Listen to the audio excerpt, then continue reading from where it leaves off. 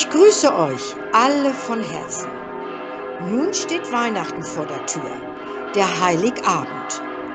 Und ich stelle euch die Frage, wissen wir eigentlich, warum wir überhaupt Weihnachten feiern? Ist Weihnachten der Höhepunkt des Jahres?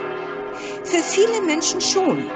In den Familien und den Kirchen werden Tannenbäume geschmückt, wie auch in den Straßen von Stadt und Land. Die Stuben erscheinen im festlichen Licht. Die Augen der Kinder leuchten vor dem reich geschmückten Weihnachtsbaum und bestaunen ihre Geschenke. Es ist eine Zeit, wo der Alltag vergessen werden kann.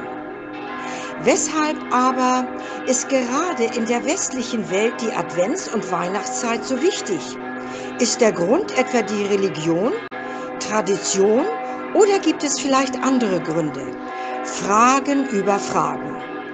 Zugegeben, Weihnachten ist ein christliches Fest, wo weltweit bei zwei Milliarden Christen die Geburt Christi gefeiert wird. Die Kirche hat das Datum festgelegt. Doch aus welchem Grund? In der Bibel wird kein genaues Geburtsdatum genannt.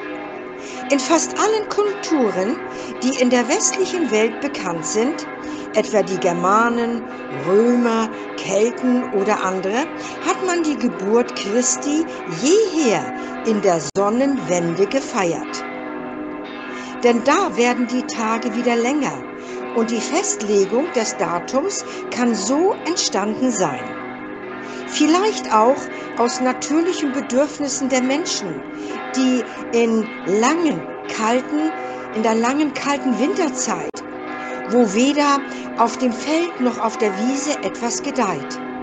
Allerdings war die christliche Botschaft der Geburt des Heilands gerade eine, eine Erlösung. Vielleicht auch nur von Eis und Schnee. Es darf nicht vergessen werden, dass Weihnachten im Kirchenjahr nicht das höchste Fest der Christen ist. Zwar wird dieser Zeitpunkt als die Geburt des Heilands markiert, doch das höchste christliche Fest ist allerdings Ostern. Da feiern wir die Auferstehung Jesus, dem Sohn Gottes. Dass Weihnachten trotzdem in vielen Familien so aufwendig gefeiert wird, ist der Tradition geschuldet. In der kalten, dunklen Jahreszeit rücken die Menschen näher zusammen, um in gemütlicher, besinnlicher Atmosphäre zu verweilen. Aber woher kommen denn die Symbole rund um das Weihnachtsfest? Zum Beispiel etwa der Brauch des Schmückens eines Tannenbaums. Die Wurzeln stammen wohl nicht aus den christlichen Kulturen. Der traditionelle Christbaumschmuck erfolgte erst im 17. Jahrhundert. Da verwendete man all das, was man hatte. Erst im 19. Jahrhundert kam das industrielle Aufkommen und der Weihnachtsschmuck wurde systematisch hergestellt. Aber auch der Weihnachtsmann und das Christkind sind mittlerweile nicht mit dem Weihnachtsfest verknüpft, indem sie die Geschenke bringen und die Kinderaugen aufleuchten lassen. Von Martin Luther wurde im 19. Jahrhundert die Figur des Christkindes geprägt. Damals brachte der Nikolaus am 6. Dezember die Geschenke, da es zu Weihnachten noch keine Bescherung gab. Der Wille von Luther als Protestant war, den Heiligen, zum Beispiel den heiligen Nikolaus, ihren Status zu nehmen.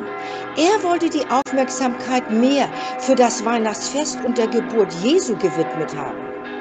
Heute kennen die Kinder nur aus den Erzählungen ihrer Eltern, dass man das Christkind nicht sieht, wenn es die Geschenke vor den Christbaum ablegt und danach klingelnd den Raum wieder verlässt. Dagegen ist der Weihnachtsmann aus der Figur des Nikolauses und seinem Knecht Ruprecht entstanden. Dieser bestraft unartige Kinder und belohnt die Braven mit Geschenken. Gleichwohl ob es für die Menschen ein religiöses oder vielleicht ein kulturelles Fest ist, hat Weihnachten einen unermesslichen, wundervollen Zauber, dem man sich eigentlich nicht entziehen kann. Deshalb ist jedes Jahr Weihnachten immer wieder etwas Besonderes, weil sich die Menschen friedlich unter dem Baum zusammenfinden, wenigstens für ein paar Tage. Es liegt an uns, diese Zeit der Harmonie, des Verstehens und der Freude zu verlängern. Wollen wir diese friedliche Zeit genießen, denn bald steht der Alltag wieder vor der Tür. Ich wünsche euch allen ein friedliches und gesegnetes Weihnachten. In Liebe, eure Deria.